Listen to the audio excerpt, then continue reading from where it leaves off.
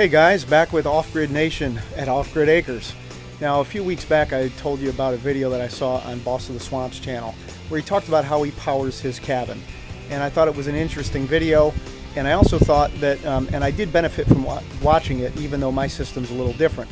I thought I'd show you my system more in depth and I hope that you guys can benefit from anything that I'm doing. I'm not saying I'm doing it right, I'm not an electrician, and I'm certainly not the code on, on any of this stuff. But what I have done is from scratch with zero know-how, scrape together a solar system that has worked well for me. I'm able to power my cabin and do pretty much everything I want to do with what I have. I do plan on upgrading some of the things that I have, but I want to show you what I got for right now, and I'll talk a little bit about my plans to upgrade. Okay gang, if you've been following my channel for any length of time, you've seen this before. That's my solar panel. That's where it all starts. So I have two 310 watt panels and two 100 watt panels. In the near future, you're going to see me take out those two 100 watt panels and I'm going to add them to the other small system that I have up on my porch that powers uh, another side of my cabin. And I'm going to add a third 310 watt, giving me a total of 930 watts coming in for peak power. I'll show you the inside. Alright guys, a very important piece of this solar system is the charge controller. And I have here the Midnite Classic 150. This thing is the bomb.com. I love it. It's not my first one, it's my third one. I ended up buying cheaper ones that weren't as good and of course they didn't last long. So I ponied up the money and I bought this sucker. It's overkill for what I'm using it for, but I wanted to buy quality just in case. I don't want to have a failure in a grid down situation where I can't replace what I have. Right now I'm bringing in 150 watts and I'm in float and the only reason why I'm only bringing in 150 watts in full sun because the batteries are full and it's just using what it needs to top off and burn whatever lights I'm burning right now. So that is connected to the solar panels and then I have wires running down to the battery bank and I'll show you that right now. Alright guys, there's my battery box opened up and you'll see why I built a battery box over it because here's the batteries. And I really just have kind of a potpourri of batteries in here. I have a marine battery I bought from Walmart in there. I have a couple of lithium ion batteries in there that I got for free that are just awesome batteries. They're probably 400 bucks a piece if I were to buy them. They're small, they're lightweight, they're 55 amp hours a piece, I think. And I have a big VMAX battery back there that is awesome, made specifically for solar power. And those are about $260 a piece, and I think they're 120 amp hours. So all told, I got about 450 amp hours under there and I connected them all with 8 gauge wire.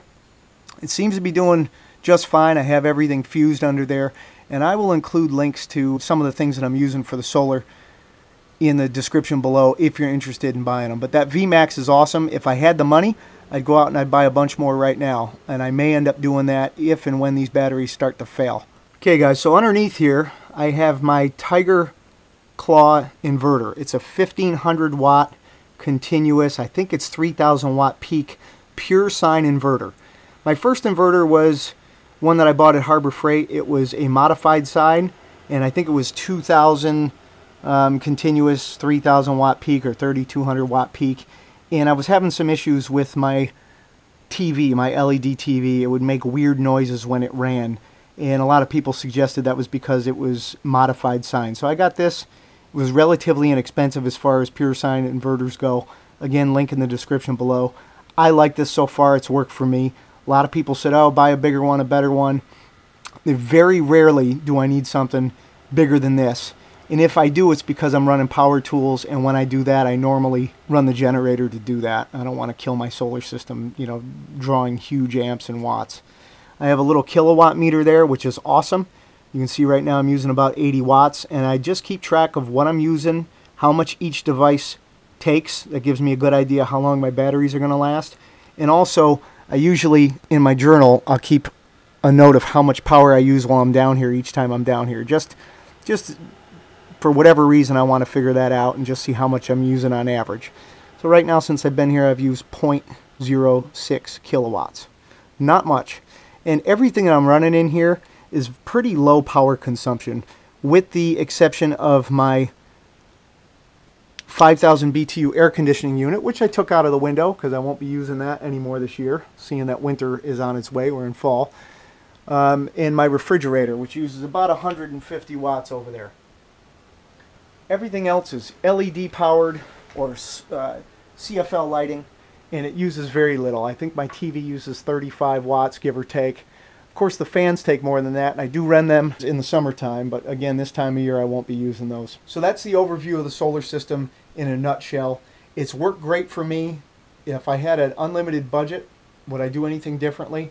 Sure. I'd buy more batteries. I'd buy more panels. I'd buy more, you name it. The charge controller is top notch. I'd buy a better inverter. But in all reality, this is great for what I'm using it for. I haven't had any real issues with the setup that I have right now, and the only changes I'm going to make is I'm adding a couple of breakers, and I'll show you that in a future video, uh, just for added protection and safety, and it's going to allow me to isolate what I'm what I'm doing. It's going to allow me to isolate if I want to turn off the power coming in from the panels to the battery. So if I have to work on anything, repair anything, or just maintain anything, do any maintenance, it's going to allow me to isolate where the power is going. So it's really a safety issue. What I did do down here was I bought two aught wire, connected it from the battery bank, and it's just a 12 volt battery bank, and my panels are 24 volt. Um, but my charge controller allows me to bring in 24 volts, which is why I was able to use 8 gauge wire.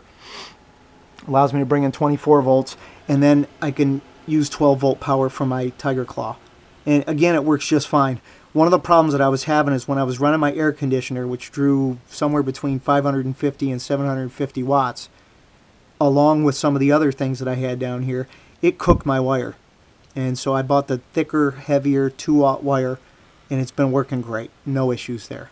Okay, so that was a basic overview of my solar system, which is pretty simple. I'll show you in a diagram how I wired up the cabin and give you a better idea of what I did. It was super simple. Um, if I had to do it over again, the only thing I might do is add a couple of extra outlets and a couple of key places. Because I wired all this up before I put in the rest of the stuff in this cabin, I wasn't exactly sure where things were going to go, and I wanted to keep it as simple as possible but as you get into a project like this, you go, oh, it would have been convenient to have an outlet right here. It would have been nice if a switch was over here or another light was over here. Well, I could go back, pull off the paneling, and add all that stuff, but I'm not going to do it, guys. Um, I'm going to live with what I have and make do, and in places where I need extra lights or extra outlets, I'll run an extension cord and live with it. So thanks for coming along. Check out the diagram here in a second. Don't forget, like, share, subscribe, help us grow the nation. We'll see you on the next video. Okay guys, so as promised, here's my very crude drawing of my solar system and my wiring in the house. As you can see over here, I got the solar panels and I got them running down in a wire and conduit underneath the ground and down, down the pole. I'll try to point it out. Underneath the ground and conduit comes up into the charge controller and then back down into the battery box. And then from the battery box to the inverter. Okay, it's pretty simple. So that's how the power comes in and charges the battery bank through the inverter, all using 8 gauge wire, and then I use the 2 aught wire from the battery bank, 12 volt wired, to the 12 volt inverter. And I'll flip the next page here and kind of show you the wiring schematic on the inside. Again, sorry for my kindergarten art class here. I just I'm really bad at that. Okay, so now here's to give you an idea of what it looks like um, when you're kind of looking, I guess, down from the top. So the way that I have this wired is, again, I got my inverter over here in my battery box. What I did was I have the Romex wire. I think it's 12-2. That's what I'm using. 12-2 wire. And I have a plug that I plug into my inverter.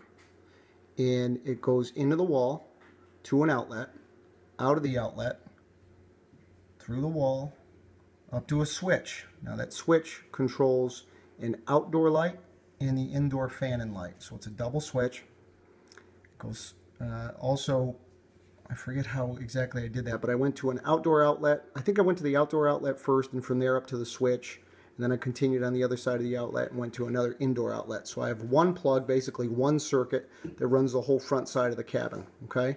And I have a second plug, comes out, goes into the wall, and goes to the back. And I just have two outlets in the back. Now from there I plugged one of those 12 outlet kind of bars. I got it from Harbor Freight along the back, so I have plenty of places to plug into along the back, as well as in the front I have a 12 outlet bar right there as well.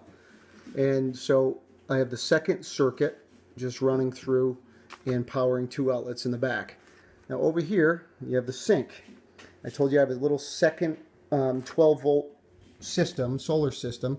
It, right now it just has the one 100 watt panel connected to one battery under the sink. Should have saw that earlier in the video. And it runs a 12 volt water pump for the sink. And I also have coming out of the inverter, I just put extension cords and I got the uh, I got the clip light, the LED clip light above the sink, and then another LED clip light above the stove the two burner propane stove. So that's it in a nutshell. It was real simple. I don't have any breaker boxes. Uh, I could have put that in. Some people do that. I think it looks better. You know, it looks more professional. It was more money. I didn't think that I needed it, and this solar system kind of evolved as time went on. But the wiring happened when the wiring happened. Again, if I had to do it over again, I'd probably wire up a box here, an electrical outlet box here, maybe one here, over here, over here. Uh, I would have put one in the bath or in the uh, composting toilet with a switch for a light. Instead, what I did was from this outlet, I plugged in an extension cord, went into the wall, up, so you can't see it from outside when you're looking, but it goes into the bottom of the wall, it goes up into the wall, and then I have an extension cord coming out and just one of those clamp lights plugged into the bathroom and I can turn it on and off that way. Not super pro, but it's functional, it works, it was easy, it was cheap, and it was less wiring. And I'm not an electrician. So that's an overview of my solar system. I hope it helps anyone else that's thinking about doing it. Again, I'm not telling you that I know what I'm talking about or I know what I'm doing. I'm just showing you what I did and the fact that it worked. And I also gave you some idea as to what I might have changed if I had to do it all over again. Don't forget, guys, like, share, subscribe. Have a great day.